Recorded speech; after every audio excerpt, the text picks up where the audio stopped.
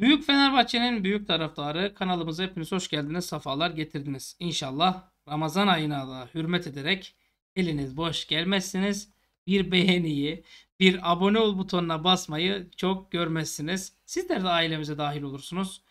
Yani YouTube aleminde 7-24 Fenerbahçe'nin konuşulduğu nadir kanallardan birisi. Başka takım taraftarlarının da içimizde yer aldığını bilin arkadaşlar. Onlar da ayda değer buluyorlar. Maç önü programları, maç sonu canlı yayınları, e, devre arası canlı yayınları, arada sırada yayınlar, duyumlar, haberler, yorumlar, e, ne bileyim konu içleri, konu dışları, muhabbet her şey bu kanalda. Yapmanız gereken tek şey abone olmak ve e, videoları olabildiğince takip etmek. Aynı zamanda kanalımızda üyelik sistemi var. 15 TL verip bir aylığına üye olup topluluk kısmında çeşitli duyumlara, çeşitli bilgilere ve çeşitli etkinliklere katılabiliyorsunuz. Ben bu tanıtımı yaparak başlayayım arkadaşlar. Fenerbahçe'mizin millileri göz doldurdu.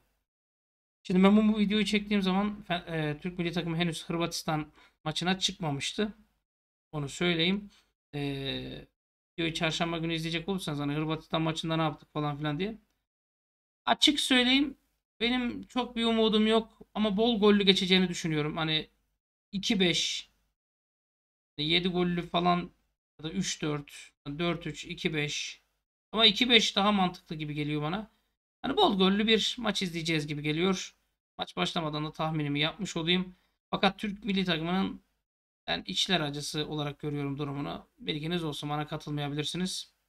Şimdi Fenerbahçe'nin millileri bizim için önemli. Niye Fenerbahçe'nin millileri? Hocam milliyetçilik yapma. Ne demek Fener'in millileri? Hepsi önemli. Hepsi bizim çocuğumuz. Milli takımından bahsetmiyorum. Bütün genel havuzdan bahsediyorum. Çünkü Süper Lig'de Fenerbahçe birçok futbolcunu milli takıma gönderdi. 10 futbolcu gönderdi. 8'i sahne aldı. Belki şu sıralarda ya da siz bu videoyu izlerken daha fazlası da belki onu da sahne almış olacak. Özellikle özellikle özellikle Ferdi Kadıoğlu İsmail, Atilla Salahi, Alioski ve diğerleri e, göz dolduran isimler. Şimdi Stefan Kuntz, Altay Bayındır, Ferdi Kadıoğlu, İsmail Yüksek, Arda Güler, İrfancan Kahveci ve Samet Akaydın'a şans verebilir akşamki maçta. Düşündüğünüz zaman arkadaşlar e, hani hafta sonu Fenerbahçe'nin maçı olduğu için Beşiktaş futbolcusunu oynatacağını Fener futbolcusunu oynatayım da yorulsun diyebilir. Ama bu bizimkiler dişine gelir. Çünkü bizimkiler işleyen demir pas tutmaz misali oynadıkça daha iyi oynuyorlar. Yani 6 futbolcunun milli takıma en çok futbolcu gönderen takımız. Atilla Selahi, Ezgican Alioski, Wright Osayi Samuel, Miha Zayt ve Diego Rossi de kendi ülkelerinin takımındalar. Peki bunlar ne yaptı? Ferdi Ermenistan maçında 74 dakika sahada kalıp 14-2'li mücadelenin 9'unu kazandı. 23 yaşındaki oyuncu 45 pas denemesinde 41 isabet, 4 top kaptı. 2 de pas arası. Dehşetül vahşet bir istatistik. Allah nazardan sakatlıktan korusun. İsmail Yüksek 74'te oyuna girdi. Kısa sürede sahada kalmasına rağmen 6-2'li mücadeleye girip 3'ünü kazandı. 24 yaşındaki orta saha oyuncusu bir de Ermenistan hatanı uzaklaştırdı. Miha Zayt Maça yedek başlıyor. İlk maçı yani Kazakistan-Slovenya maçına. Ee, Slovenya 1-0 yenik durumdayken ikinci yarının başında oyuna giriyor ve belki skor katkısı yapmıyor ama hücum hattına getirdiği kıpır kıpırlıkla 2-1'lik galibiyette pay sahibi. Osayi Samuel iki maça çıktı. E, maçta da 90'ar dakika 90'dan 180 dakika görev aldı. İlk maçta Osayi'nin takımı şok bir yenilgi aldı. Ama hani 14'te e, kaç 9'da 8 ikili mücadele kazanmayla falan oynadı. İkinci maçta Nijerya tek golle kazandı. Hani Afrika Uluslar Kupası elemesinde Gine Bissau'yu 1-0 deplas deplasmanda 1-0 mağlup etti. Kendi evinde de 1-0 yenildiydi.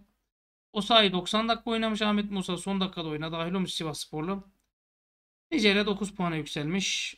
Ee, bir sonraki maç Sierra Leone deplasmanına gidecekmiş. Ama tabii bu diğer milli arada. Ezgican Alioski 78 dakika görev yapmış. Makedonya'nın en etkili isimlerden biri olmuş. 4 isabetli orta. 3 de şut pası vermiş ve arkadaşlar bunu değerlendirememiş. 4 tane de top kapmış Alioski. Gelişim var. Rossi e, hazırlık maçı için Asya turuna çıkmış Diego Rossi'nin takımı ve Japonya mücadelesine Rossi ilk 11'de başlıyor. Zaman zaman savunmaya zor anlar yaşatıyor. 63 dakika sahada kalıyor. performansıyla daha fazla oynatılması gerektiğini gösterdi diyor. Bakın Arda Güler, İrfan Can, Samet, Altay bunların adı yok şimdilik ama bekleyip göreceğiz arkadaşlar. Ferdi Kadıoğlu'nun peşine düştüler. Kim? Gangsterler. Ferdi bizim parlayan yıldızımız. A milli takım formasıyla da maşallah iyi gidiyor ve göz hapsine alınmış durumda. Jesus'un vazgeçilmezi durumunda ve gittiği her yerde peşine scoutları takan bir isim. Ermenistan maçında da bayağı bir scout takmış. Ajax, Napoli ve Dortmund'un izlediği Ferdi için Atalanta'da bir girişimde bulunacakmış. Atalanta'da da Merih Demiral bulunuyor. Yani referans sistemiyle giderlerse durum bu. Ama ben Ferdi'nin yazın Ferdi'yi bize koklatmazlar. Ben size söyleyeyim. Yazın Ferdi'yi biz elde tutamayız. Fenerbahçe'nin Almanya'dan istediği genç gurbetçi. Aa. Fenerbahçe Almanya'da futbol oynayan genç gurbetçi Bilal Yalçınkaya'yı gündemine almış. Geleceğin kadrosunu kurmaya devam ediyor. Dünyanın dört bir tarafından yıldız isimleri, genç isimleri kadrosuna katmak isteyen Fenerbahçe Hamburg altyapısına forma giyen 2006 doğumlu genç yıldız için kulübüyle görüşmelere kısa sürede başlayacakmış. Arda Güler var. Bora Aydınlık geçen gün bayağı aydınlık oldu. İshak Bural, Jorginho gibi isimler ve bir isim daha hedeflemeyi düşünüyor. Borussia Dortmund ve Bayern Münih de takip ediyormuş. 10 numara pozisyonunda oynuyor. Genç oyuncu iki ayağında etkili kullanıyor. Futbol zekası şimdiden çok olgun ve etkileyici. 6 gol 8 asisti var. 30 Mart 2006'da Almanya'da dünyaya geldi. 16 yaşındaki oyuncu futbola FC Süderelbe takımı altyapısına başladı. St. Pauli altyapısında da forma giyen Bilal 2017'de Hamburg altyapısına transfer oldu. Hamburg altyapısında bir çuval patates karşılığında transfer olan Bilal 6. sezonunu geçiriyor ve genç orta saha bu sezon U17 takımıyla U U17 takımıyla 15, U19'da ise 2 maça çıktı. U17 ile 6 gol 7 asist kaydederken U19 takımıyla sadece 1 gol kaydetti. Kulübüyle olan sözleşmesi 2024 yılına kadar sürüyor diyor. Arkadaşlar bakın Şimdi Bilal Yalçınkaya ismine odaklanacaksınız. Diyeceksiniz ki hocam geliyor mu? Kesin bizde mi? Şöyle mi böyle mi? Ya da umursamayacaksınız. Genç ya alt üstü. Burası bir fabrika. Futbolcu da almak zorundasın. Futbolcu da satmak zorundasın. Göndermekte zorundasın. Almanya U17 takımının iki kez forması gibi bir, yemiş bir gol atmış isimden bahsediyor. Yaşı daha 16 ve 1365 dakika süre alıp 7 gol 7 asisti var sezon. Şimdi Türkiye U17'ye seçiliyor. Çocuğu oynatmıyorlar. Almanya U17'den 25 Kasım 2022'de teklif geliyor. Almanya U17 takımına gidip oynuyor arkadaşlar. Sonra biz de diyoruz ki bakın biz şimdi scout ağımız şöyle güzel. Bizim adalet sistemimiz böyle iyi. Biz futbolculara değer veriyoruz falan filan Inter Milan. Sadece Bilal değil birçok gurbetçi futbolcunun nabzını yokluyoruz. Hocam ama sen demiyor muydun seneye yabancı sayısı serbest olacak diye olsun. Şimdi Türkiye'de şöyle bir inanış var. Bir futbolcu altyapıya alınıyorsa 14 yaşında olacak. 15 olacak. Geçmeyecek. 16 olsa bile geçmeyecek. A takıma bile 16 yaşında futbolcu alabilirsin. 17 yaşında futbolcuyu altyapıya alabilirsin. Bak Jorginho 17 yaşında alındı. 16 yaşında alındı. Bak çatır çatır oynuyor. Elif Elmas hatırlayın. Altyapıda birçok kişi beğenmiyordu hatta Elif Elmas'ı. Bu taktikler, bu sistem gayet güzel arkadaşlar. Önemli olan ne biliyor musunuz? Bizim elden çıkarmamız gereken isimler. Mesela Luan Perez 1. Joao Pedro 2. Gustavo Henrique 3. Üçü mesela elden çıkarılması gereken isimler. Bana kalırsa, bana sorarsanız. Yani bana sorarsanız yapılması gereken olay bu. Luan Perez'in de Pedro'nun da Gustavo Henrique'nin de Fenerbahçe'den gönderilmesi lazım. Gönderilmesi lazım. Bu arada arkadaşlar e, Hollanda'nın meşhur bir takımında altyapıda forma giyen bir e, kaleci var. O kaleciyi almak üzereyiz. Bilginiz olsun. Subliminal duyum olarak da vereyim. Şimdi Perez, Pedro ve Gustavo Henrique. Hani Gustavo'nun 2.8 satın alma diyorlar. Hadi onu doğru kabul edelim. 12.8 milyon euroluk bonservis var 3 futbolcuya. Zararın neresinden dönersen dön kardır. Ama hocam futbolcuyu aldık sakatlandı. Şans ne yapabiliriz? Vallahi ben üçüne de gelecek göremiyorum. Üçünden de katkı alacağımızı zannetmiyorum. Hani piyasaları var. Perez için Brezilya'dan, Pedro için İtalya'dan, Gustavo Henrique için de yine Brezilya'dan teklifler var. Fenerbahçe artık şurasına kadar geldi. Sözleşmesini feshetmeye çalışıyor Gustavo Henrique ile. Ee, Brezilya'da 31 Mart'ta transfer dönemi sona eriyormuş arkadaşlar ve az bir zaman kala takımlar bir şeyler yapmak istiyorlar.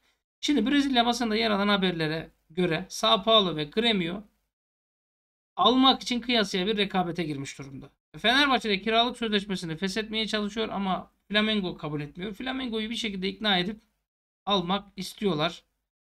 Ee, yani bakalım ne olacak ne edecek. Şimdi şu soruyu soracaksınız bana muhtemelen. Ya hocam biz adamı gönderelim diyoruz ama adamın sürekli bir talibi çıkıyor. Acaba bizde mi bir sıkıntı var? Yok arkadaşlar bizim sisteme uymuyor. Yani futbolcu iyi diyebilirsiniz ama bizim sisteme uymuyor. Hani bazı dağın çiçeği diğer dağda olmaz. Yapacak bir şey yok. Bu çiçeğin kalitesizliği ya da dağın kötülüğünden dolayı değil. Uyum sorunundan kaynaklanıyor. Bence Gustavo Henrique iyi bir oyuncu.